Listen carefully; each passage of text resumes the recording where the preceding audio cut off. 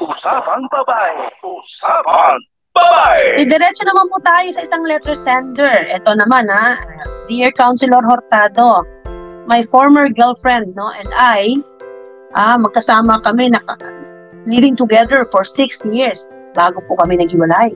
Six years. And during that span of time, nakapagbili po ako ng bahay at kotse. My question is that, may right po ba ang former girlfriend ko doon sa bahay at kotse na ako naman po ang bumili nun using my own money? Letter sender is Ferdinand. So Ferdinand, no, dapat nating muna siguro intindihin. Meron kasi tayong batas, Article 147, tsaka Article 148 ng Family Code of the Philippines, na sabi dito, ang uh, provision sa batas, nakasaad, lahat po ng property, whether real or person, real property, yung mga lupa, di ba?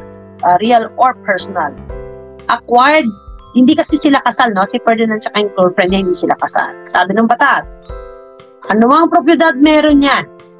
Acquired by the unmarried couple during their cohabitation, yung pagsasama nila, di ba? Exclusively as husband and wife. Yun, di ba? Nagsasama sila, nagli-living sila. So, they are living exclusively as husband and wife.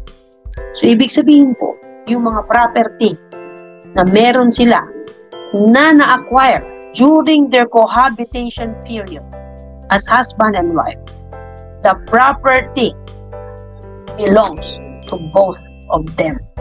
In other words, itong property po na ito na sinasabi mo, Ferdinand, is now considered as properties in common, common property ninyo.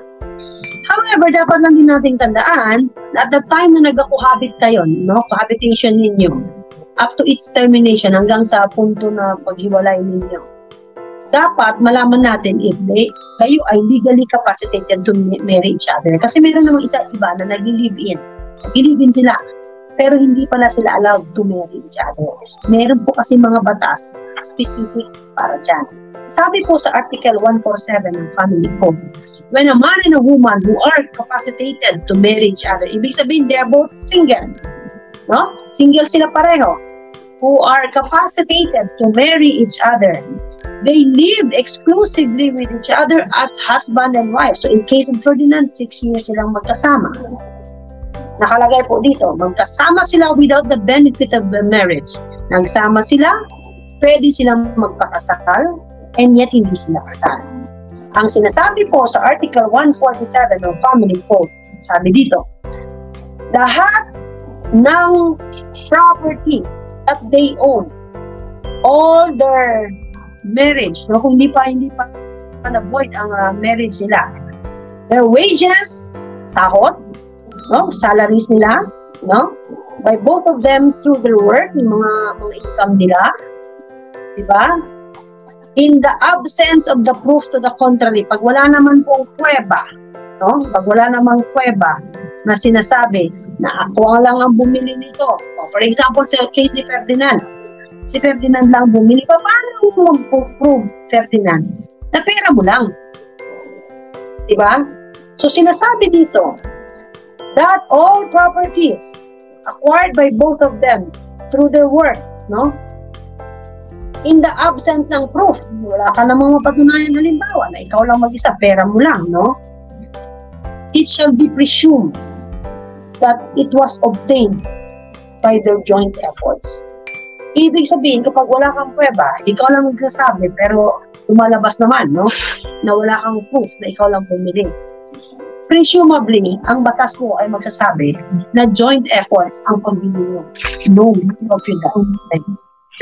And because it has been presumed that it has been obtained, no? It has been obtained by joint effort, ibig sabihin magkakaroon kayo ng equal shares. So for example, meron dito sabihin mo sa sinasabi mo nga na ikaw lang naman ang bumili. So ang tanong dyan, paano mo patunayan na ikaw lang ang bumili? Because according to Article 147, sabi dito, for the purposes of this article, a party who did not participate in the acquisition by the other party of any property shall be deemed to have contributed jointly in the acquisition thereof if the for, former's effort consisted in the care and maintenance of the family and of the household.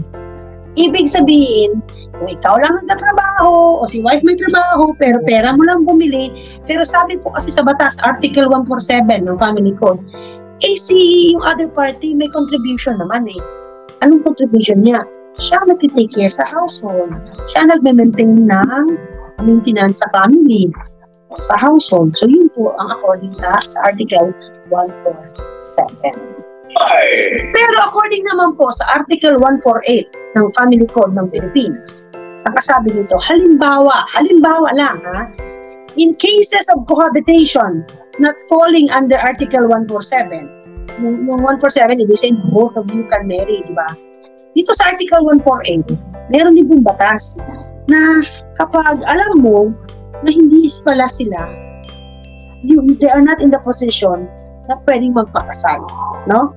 Masabi dito, the properties acquired by both of them, oh, yung property nila, contributions nila, importante dito is that magkakaroon ngayon sila ng proportion proportion na pag-aari ng property. The same rule In the same rule, may presumption pa rin po dito na yung mga joint deposits, no, mga syempre may pera kayo sa bangko. No? Dapat may mga ebidensya kayong ipapakita.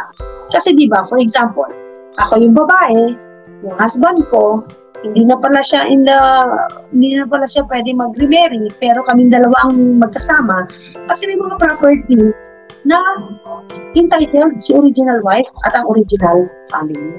So, sa time na yan, kung you are living together sa ng former girlfriend mo, tapos hindi ka pala pwede magpakasal, so magkaiba rin po doon ang treatment. But however, if at the same time you are living with your girlfriend, tapos both of you naman walang legal impediment sa pwedeng makapagpangasawa, then Article 147 po ang gagamitin doon. So, intindihan po ba natin ang katibahan ng 147 at 148 aming code of the Philippines.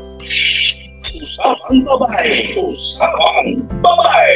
Sabi ko nga sa 147, unless you can prove the amount of your individual contribution in acquiring the said properties, that presumption shall prevail, meaning joint effort, equal shares.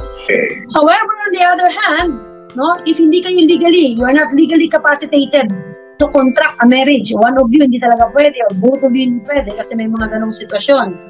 No? Ano pong gagawin natin?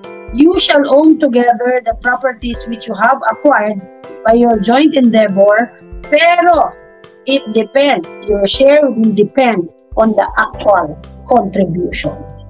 At dyan po nagtatapos ang ating programa ngayong hapon. Magandang uh, tanghali o hapon sa lahat at maraming maraming salamat po sa panahong binigay ninyo sa akin. Ito po si City Councilor Jeanette Ines Hurtado. Lagi kong sinasabi, iba ang may kanya. Thank you and good afternoon. Bye bye. Bye bye.